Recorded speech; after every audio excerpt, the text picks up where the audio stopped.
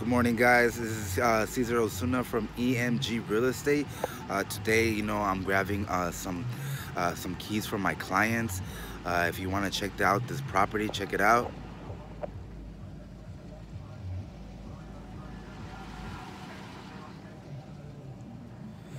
It's a ranch property and I'm so excited for my clients.